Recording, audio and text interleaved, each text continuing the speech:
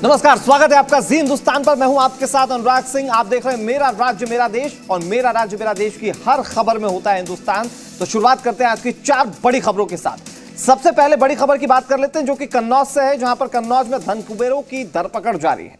और इन धन कुबेरों की कमाई का ज़रिया है दो नंबर। अब वो आयकर विभाग के निशाने पर आ चुके हैं। समाजवादी पार्टी के एमएलसी पंपी और पुष्पराज जैन इनकम टैक्स विभाग की रडार पर है।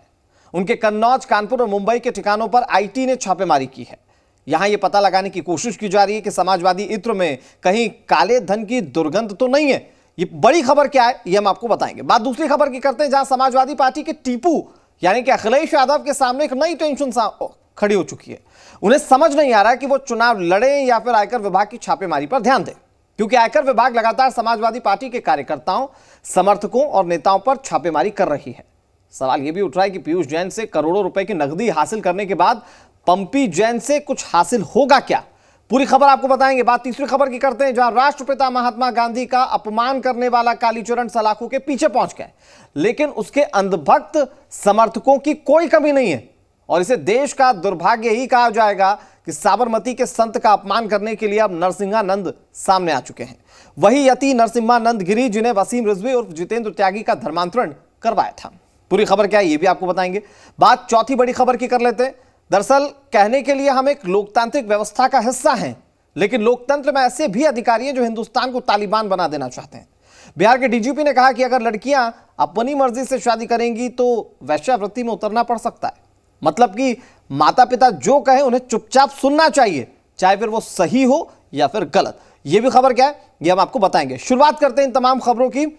दरअसल, पीयूष जैन जिनके खिलाफ अभी तक इनकम टैक्स विभाग ने छापेमारी की जीएसटी की टीम ने छापेमारी की, आज उन्हें देश का बच्चा बच्चा जानता है। वजह है अरबों का कैश उनके घर से कबाड़ की तरह बरामद होना। बीजेपी ने इस पूरे खेल के लिए समाजवादी पार्टी को जिम्मेदार बताया तो अखिलेश यादव ने बड़ी चालाकी से गेंद बीजेपी के पाले में सरकार अब अखिलेश के करीबी पर इनकम टैक्स का छापा पड़ा है। इसकी वजह से टीपू के होश उड़ते हुए नज़र आ रहे हैं। देखिए रिपोर्ट धन कुबेरों के कितने तहखाने? पीयूष के बाद पुष्पराज जैन पर छापा। आईटी की 35 टीमें 50 ठिकानों पर छापेमारी।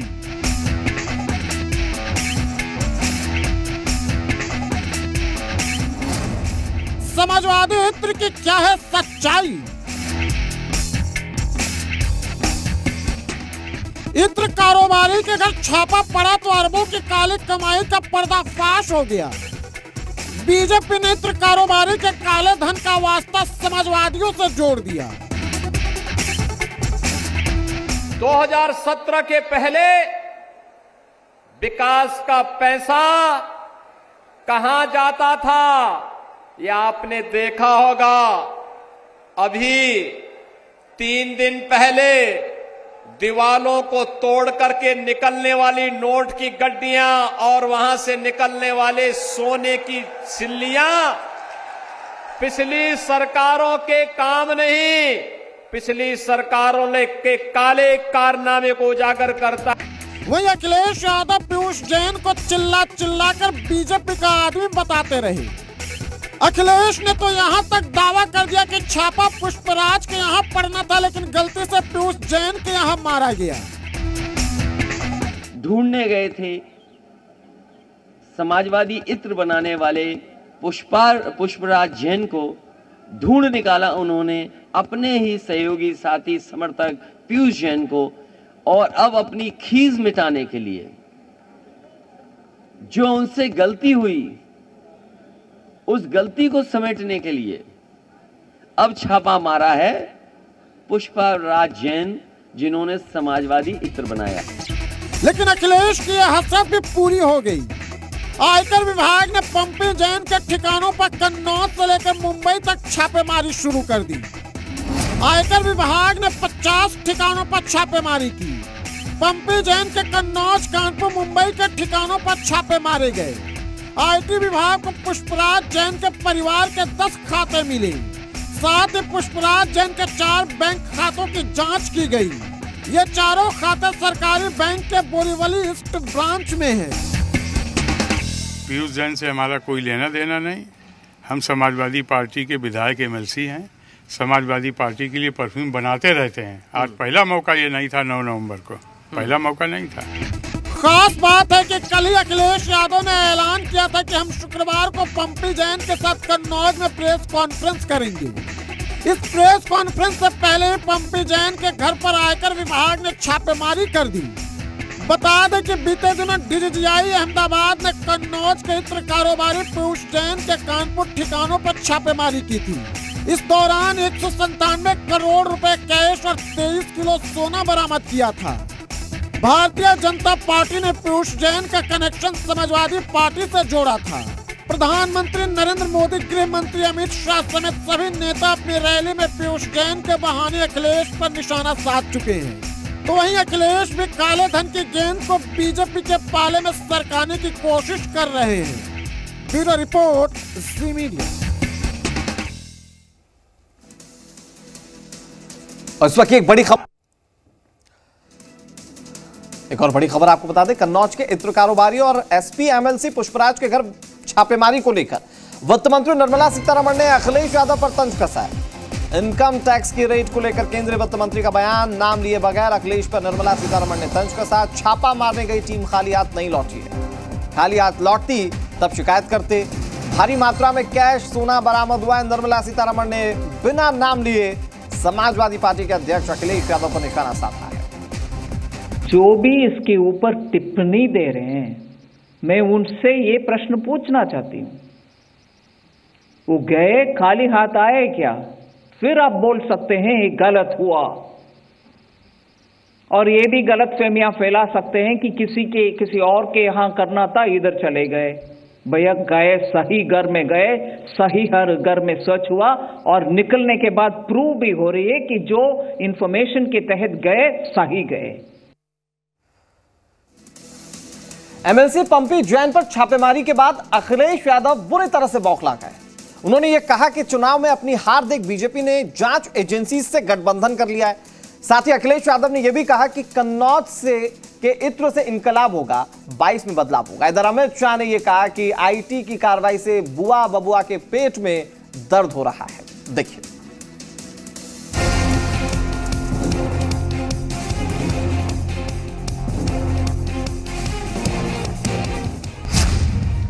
अखिलेश के एमएलसी पर आईटी का छापा। ये भारतीय जनता पार्टी के लोग नफरत की दुर्गंध फैलाने वाले ये पीयूष के बाद निशाने पर पंपी जैन।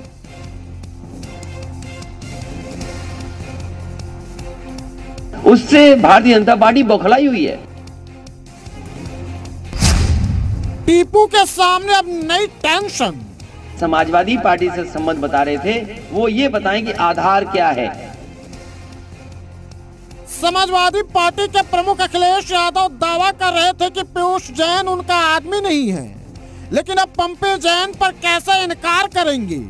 आयकर विभाग के निशाने पर अखिलेश के एमएलसी पंपी जैन है। वही पंपी जैन जिन्होंने समाजवादी इत्र को लॉन्च किया था। अब आयकर विभाग हिसाब मांगने पहुँच गया है पैसे का। लेकिन अखिलेश यादव के गले ये छापेमारी नहीं उतर रही। और वे इसे बीजेपी का षड्यंत्र बता रहे हैं। और बड़ी चालाकी के साथ बबुआ ने इस छापेमारी को कन्नौज की असमत से जोड़ दिया। कि लखनऊ से लेकर के दिल्ली वाले तक इस कन्नौज, जिसका इतिहास, जिसकी सुगंध, जिसका इत्र, जिसकी पहचान दुनिया में है, उसको बदनाम करने में लगे हुए हैं। वहीं समाजवादी पार्टी के महासचिव रामगोपाल यादव ने आयकर विभाग पर निशाना साधते हुए कहा कि आयकर विभाग इलेक्शन ड्यूटी पर है। जब जब चुनाव आता है तो इनकी गाड़ियों पे ये लिख दिया जाता है on duty on election duty तो इलेक्शन ड्यूटी पे हैं। They are doing that job वहीं केंद्रीय गृह मंत्री अमित शाह ने रामनगरी अयोध्या से अखिलेश यादव के साथ साथ मायावती पर भी निशाना साधा। शाह ने कहा कि छापेमारी से बुआ बबुआ के पेट में दर्द हो रहा है। ठेले भर भर कर कैश के नोटों की गड्डियाँ मिल रही है, गड्डिया मिल रही है। ये समाजवादी इत्र की दुर्गंध पूरे यूपी में फैलती आज जब रेडें डल रही है, उनके पेट में उबाल हो रहा है, उबाल हो रहा है। अखिलेश यादव के सामने पहले ही मोदी शाह और योगी की चुनौती थी। अब आईटी के रेड ने उन्हें मुसीबत में डाल दिया है कि वे चुनाव लड़ने की तैयारी करें या फिर आईटी रेड का सामना। ऐसे में देखना दिलचस्प होगा कि पुष्पराज जैन के यहाँ से आईटी को कितना माल बरामद होता है। Bureau report, Zee Media. संत कालीचरण के बाद अब गाजियाबाद स्थित डासना मंदिर के महंत ने महात्मा गांधी को लेकर विवादास्पद बयान दे दिया। उन्होंने महात्मा गांधी को गंदगी बता दिया। महंत यति नरसिम्हानंद सरस्वती गिरी। दरअसल ये वही शख्स हैं जिन्होंने हरिद्वार में कहा कि धर्मगुरु कालीचरण की गिरफ्तारी गलत है। रिपोर्ट देखिए। गांधी के बारे में कालीचरण जी महाराज ने जो कहा, हम शत प्रतिशत उससे सहमत हैं। फिर चर्चा में महंत अति नरसिम्हानंद सरस्वती। से मैं नरसिंहानंद गिरी। संत काली चरण के समर्थन में संत समाज। हम आशा करते हैं कि जल्दी से जल्दी उनकी जमानत हो जाएगी। काली चरण के गिरफ्तारी पर उठे सवाल।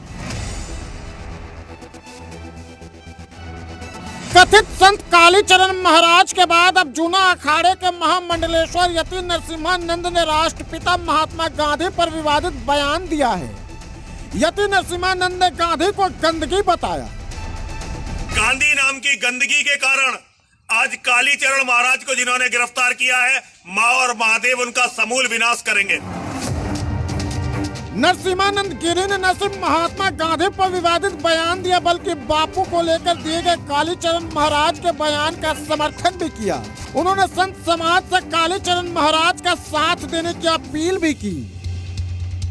गांधी के बारे में कालीचरण जी महाराज ने जो कहा, हम शत प्रतिशत उससे सहमत हैं और हर परिस्थितियों में कालीचरण जी महाराज के साथ हैं। उन्होंने हरिद्वार से एक वीडियो जारी किया और कहा कि हमने तय किया था कि गांधी के बारे में नहीं बोलेंगे, लेकिन आज मजबूरी है। उन्होंने कहा कि कांग्रेस की सरकार ने बहुत बेशर्मी भरा काम किया है। कालीचरण की जल्द जमानत न होने पर छत्तीसगढ़ के मुख्यमंत्री के आवास पर आमरण अनशन भी करेंगे। आज हम आशा करते हैं कि जल्दी से जल्दी उनकी जमानत हो जाएगी और वो बाहर आ जाएँगे। लेकिन यदि उनकी जमानत में देरी की गई छत्तीसगढ़ के मुख्यमंत्री के आवास पर जाकर आमरण अनशन करेंगे। यदि उनकी जमानत में देर की गई तो। दरअसल रायपुर में कुछ दिन पहले एक धर्म संसद में संत कालीचरण महाराज ने महात्मा गांधी को लेकर अपशब्द कहे थे। उन्होंने गांधी जी की हत्या करने वाले नाथुराम गोडसे की तारीफ़ की थी और प्रणाम किया था। इसके बाद रायपुर पुलिस ने कालीचरण को मध्य प्रदेश के छतरपुर से गिरफ़्तार कर लिया है। धर्मगुरु की गिरफ्तारी के बाद छत्तीसगढ़ और मध्य प्रदेश सरकार आमने सामने भी आ गई है। Report, Zee media.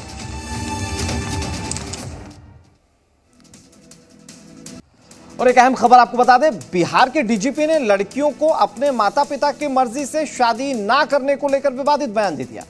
DGP S K Singhal ने दरअसल ये बयान उस वक्त दिया जब मुख्यमंत्री नीतीश कुमार समाज सुधार अभियान के मंच पर खुद मौजूद थे और उन्होंने उस वक्त क्या कहा?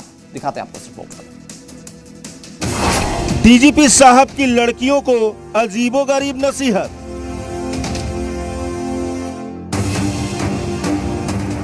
माँ बाप की मर्ज़ी के खिलाफ ना करें शादी।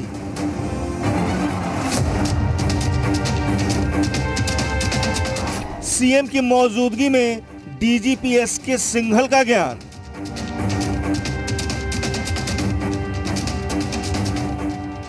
सीएम नीतीश कुमार इन दिनों समाज सुधार अभियान पर निकले हुए हैं। पंचायत चुनाव हो या फिर सरकारी नौकरी या फिर स्कूली और उच्च शिक्षा। हर जगह सीएम नीतीश लगातार समाज की महिलाओं को उनका हक दिलाने की कोशिश में जुटे हैं। लेकिन उनके शासन में पुलिस महकमे के सबसे बड़े अफसर ने महिलाओं की स्वतंत्रता विरोधी विवादित बयान दे दिया है। बिहार के डीजीपी एस के सिंघल ने लड़कियों को नसीहत दी है कि माँ बाप की मर्ज़ी से शादी करें, वरना वैश्यावृत्ति में जाना पड़ सकता है। कई सारी जो हमारी बेटियाँ हैं, वो शादी के करने के लिए घर से बिना माँ पिताजी की मर्ज़ी के चली जाती हैं। और कई सारी जो हमारी बेटियाँ हैं, वो वेश्यावृत्ति तक में पहुँच जाती हैं। हैरानी की बात यह है कि समस्तीपुर में जिस वक्त लड़कियों को डीजीपी साहब नसीहत दे रहे थे, उस दौरान सीएम नीतीश कुमार एक कार्यक्रम में पहुँचे थे। इसी दौरान मंच से डीजीपी एस के सिंघल ने ये बेतुका और विवादित बयान दिया। डीजीपी साहब यही नहीं रुके। उन्होंने कहा कि इक्कीसवीं सदी की जो बेटियाँ माँ बाप की मर्ज़ी के बगैर खुद फैसला ले रही हैं, उनके साथ बहुत बुरा भी हो रहा है। उनका कोई ठिकाना नहीं रहता ज़िंदगी में, वो क्या कर पाएँगे, क्या नहीं कर पाएँगी, वो कुछ जो है, वो सही प्रकार से नहीं हो पाता है और उसका बहुत ज़्यादा दुख जो है, वो परिवार के सदस्यों को और जो है माँ पिताजी को उठाना पड़ता है। बहरहाल, मुख्यमंत्री नीतीश कुमार बिहार की लड़कियों की सामाजिक हालत सुधारने के लिए 2005 से अलग अलग योजनाएँ लागू कर रहे हैं। वहीं उनके शासन में पुलिस महकमे के सबसे बड़े अफसर ने महिलाओं की स्वतंत्रता विरोधी बयान देकर सुर्खियाँ बटोर ली हैं। Bureau report, Zee media. और बड़ी खबर यह है कि देश में ओमिक्रॉन और कोरोना की दहशत बढ़ती जा रही है, जिससे चिंता कई गुना बढ़ गई है। कोरोना की तीसरी लहर की आहट साफ़ सुनाई दे रही है। देश में कोरोना, ओमिक्रॉन की दहशत इस कदर बढ़ चुकी है कि लोग इसे लेकर बातें तो कर रहे हैं लेकिन तमाम प्रिकॉशंस नहीं बरत रहे 24 घंटे में कोरोना के 16,764 नए मरीज़ सामने आए जबकि पिछले 24 घंटे में कोरोना से 220 लोगों की मौत हो गई है। देश में ओमिक्रॉन के अब तक कुल 1,270 केसेस आ चुके हैं। महाराष्ट्र की बात करें तो 450 सबसे ज़्यादा केस इसी राज्य से हैं ओमिक्रॉन के और दिल्ली में 320 ओमिक्रॉन के मरीज़ मिल चुके हैं।